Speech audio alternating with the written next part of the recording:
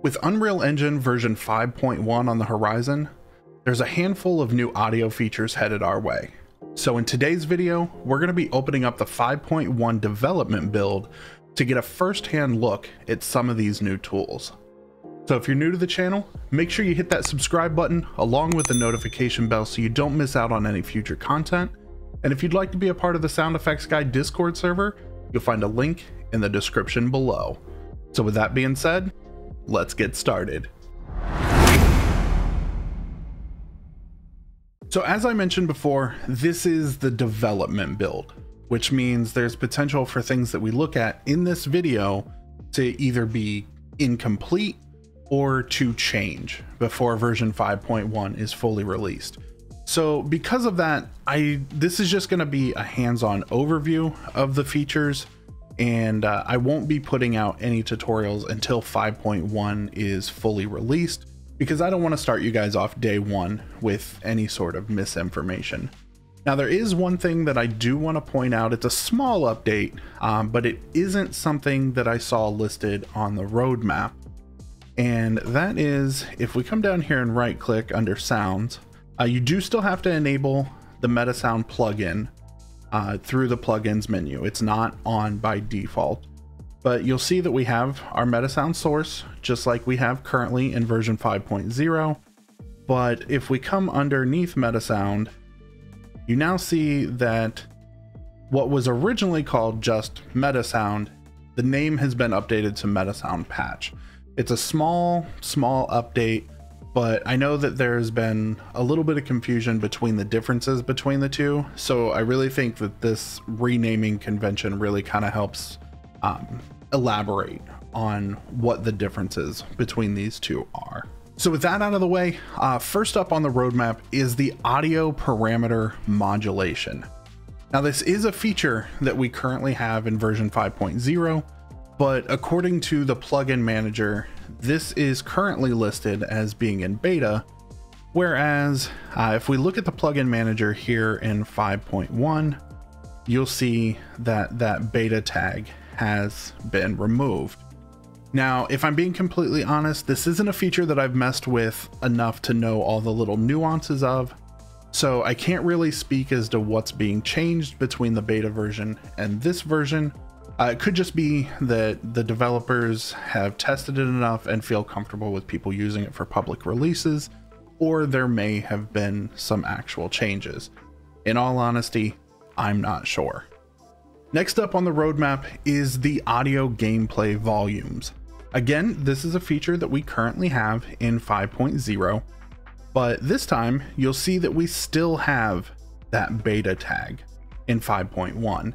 I know that several folks in my Discord server have mentioned some random bugs they've encountered, such as fade in or fade out times not working correctly. And so hopefully some of those bugs have been resolved. Now, keep in mind, with this still being in beta going into 5.1, there may still be some bugs in there. So if you do find bugs when you're working in the full release of 5.1, the best thing you can do is create a bug report.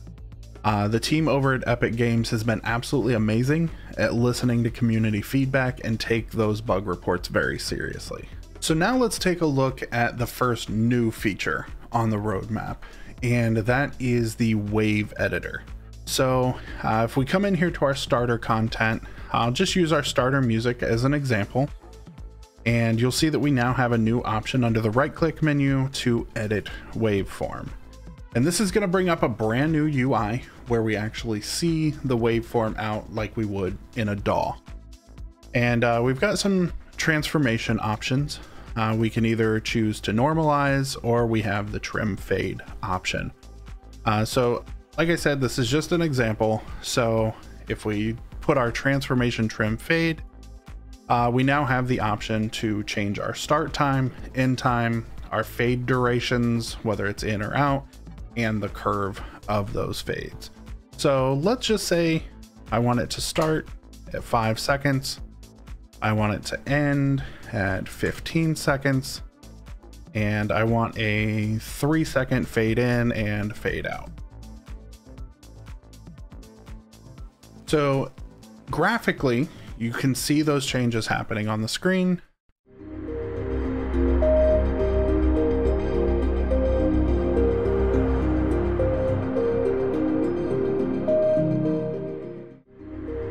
We can hear those changes that are being made. And what we now have the option to do is we can use this button to export that edit as another U sound wave asset. So we'll go ahead and click on that and save it. And so now when we come into our menu here, we still have the original sound, but now we also have this edited sound. And you can hear that it fades in just like it does in our current edit. Now, I will admit that the workflow around this might be a little weird um, if this is the final version, because we you have the star here, which means there's some unsaved changes. And if we preview this, even though visually it looks okay, we still hear that edit being made. So even though I exported that as a new clip, if I were to hit save, uh, then it would also save the edits to the original file. So you may have to undo your changes or you save it. But what this is also going to do is for those of you who are using um, library assets, say you're working with some footsteps and the file that you have has multiple footsteps on one file. So instead of throwing it into a DAW like Pro Tools or Reaper, chopping that up and then importing all those individual files into Unreal Engine, you can now just take that full audio file with the multiple footsteps, go ahead and import it, and then use the wave editor to trim up and save out those individual footsteps as needed. Next is a list of new nodes being added to MetaSounds. Now, I'm not going to be diving into each of these individual nodes in this video, but make sure you keep an eye on my Ultimate MetaSounds resource guide playlist, where I will be doing a more granular exploration of each of them once 5.1 is officially released. That being said, there is one node on this list that I do want to mention because it might just be the greatest node on this entire list. It's time to clean up those giant spaghetti monsters because 5.1 is bringing us the reroute node. Just like in blueprints, uh, you have the option to pull off and you'll see the option to add a reroute node or double clicking on the cable will actually create one right where you clicked. Now, since we're talking about cable connection, let's move on to our next feature, which is the node connection visual feedback. And um, this is something that we've always kind of had with the audio cables, uh, although now it is much more apparent. Uh, we now have the option to enable this for other inputs as well. Uh, that'll kind of help keep track of where we're going. Uh, if you've messed around with the debugging drop down menu and blueprints, you know that you can trace signal path that way. Now we have the ability to do that inside MetaSounds.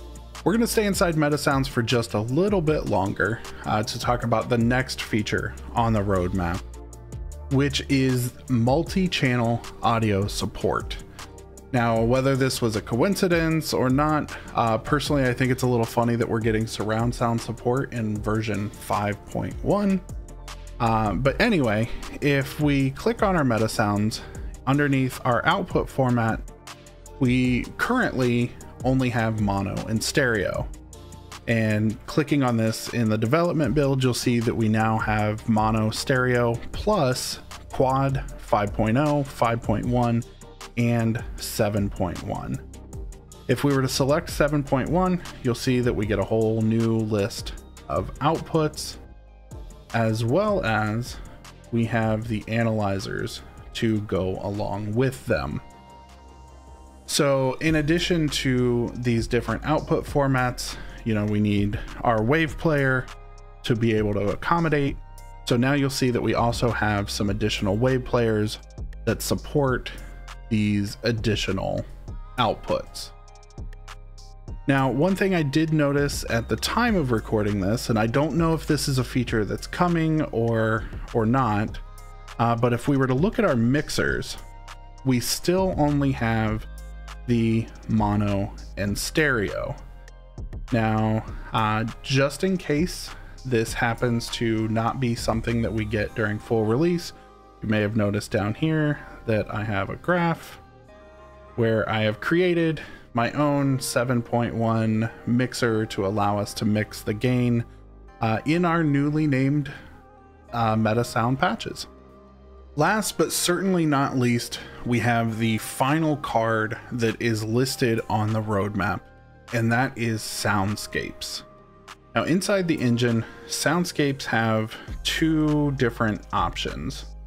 We have a Soundscape color, and we also have a Soundscape palette.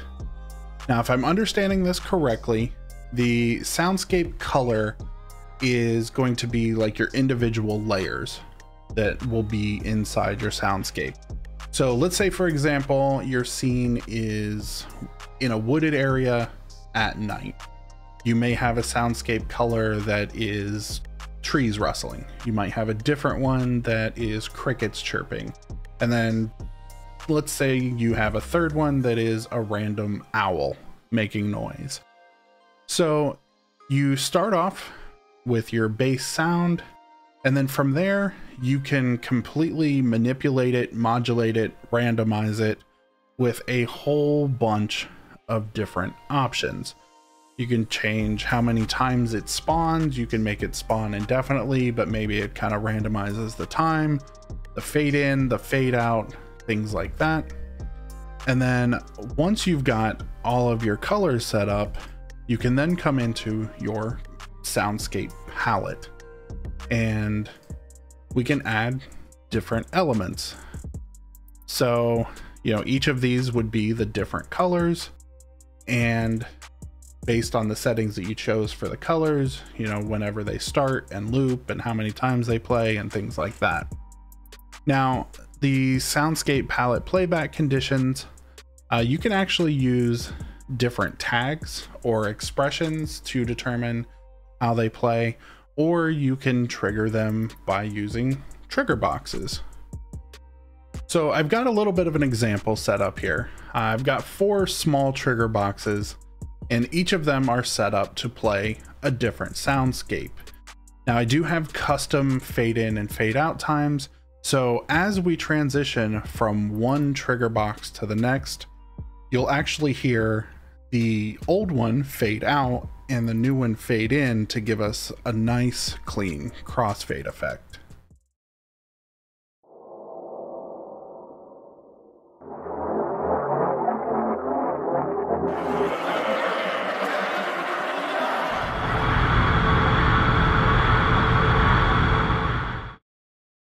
And so you heard right there at the end that I have it set up with a node that says stop playing, but that stop playing node has a custom fade out time. So even though we exit, we don't hear that audio just immediately come off. We hear it kind of fade out and just make those transitions a lot nicer. All right, so that's gonna wrap things up at this look at the 5.1 development build. Let me know in the comments what you're most excited for. Uh, and as always, don't forget to hit the subscribe button so you don't miss any future updates and videos on this stuff. I'm having so much fun with it. Hopefully, you guys are too. Until next time.